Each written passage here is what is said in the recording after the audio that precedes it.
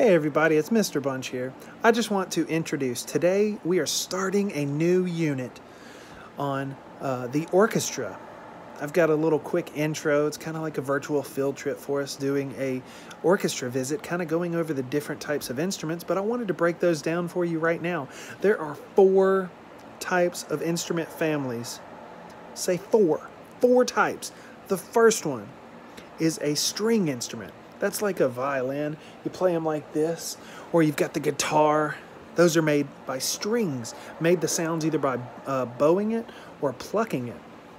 Then you've got the brass instruments. Those are metal instruments that you make a sound like a trumpet. Dun, dun, dun.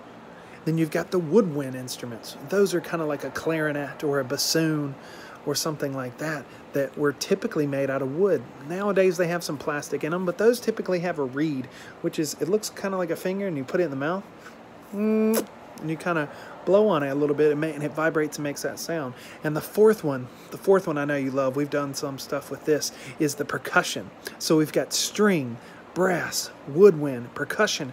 Those are the things we're going to go over um, for the next few weeks. I hope you enjoy. Look at the next uh, um, next few slides for the example of this week, which is going to be the string instruments. I love you guys. Talk to you soon. We're going to have a lot, lot of fun this week.